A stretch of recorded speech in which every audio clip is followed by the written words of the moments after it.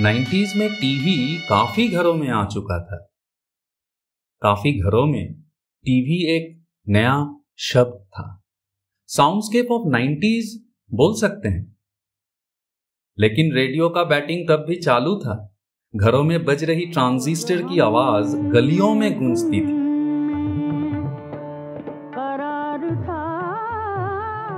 और cricket match हो तो बात ही अलग हो जाती थी। लोग हाथ में ट्रांजिस्टर लेके रास्ते में चल पड़ते थे और किसी से टकरा जाने से सामने वाला गुस्सा नहीं होता था। उल्टा वो पूछता था, सचिन है क्या? अरे, यही तो। दादा को आगे लाना चाहिए। नहीं नहीं, ठीक है, ठीक। कुछ अलग ही कमेंट्री चलता था। मतलब पूरे देश में 11 प्लेयर्स का करोड़ों कप्तान।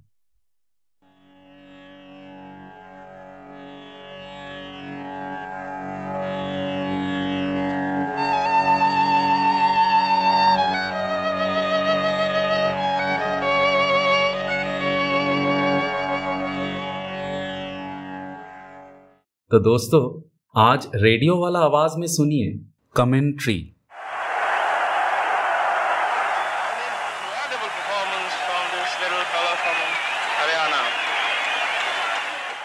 पर्थ में मैच था।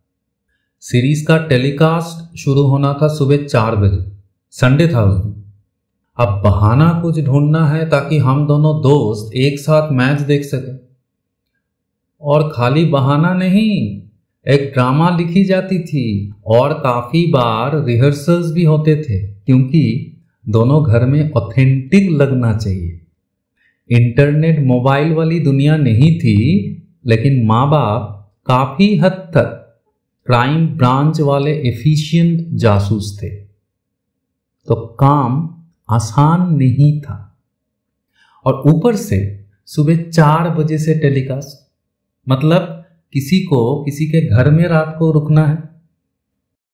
अब सोचे यूँ कि केसी नाथ से एटलीस्ट पाँच चैप्टर कर लेते हैं और फिर ये बोलेंगे कि उसको मेरे घर आना है। दोनों बैठ के डाउट सॉल्व करेंगे।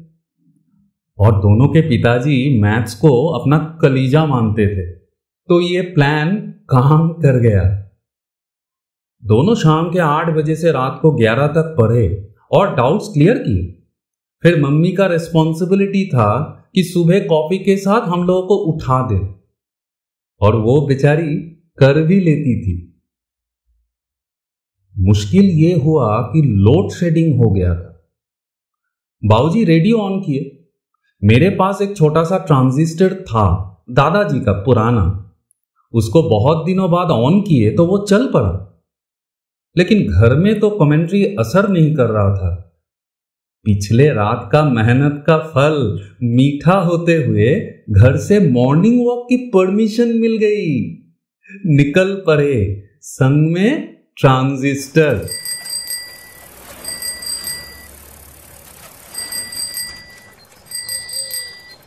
सुबह जब तक नहीं होती, रात की घूंघट अंगड़ाइया नहीं लेती।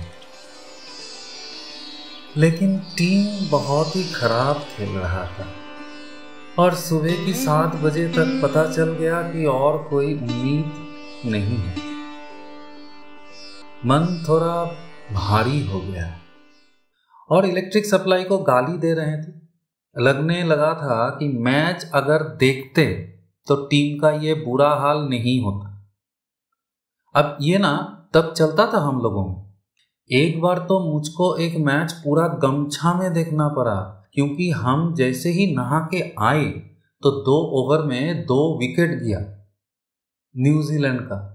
बस, अब पहने रहो, वही गमछा।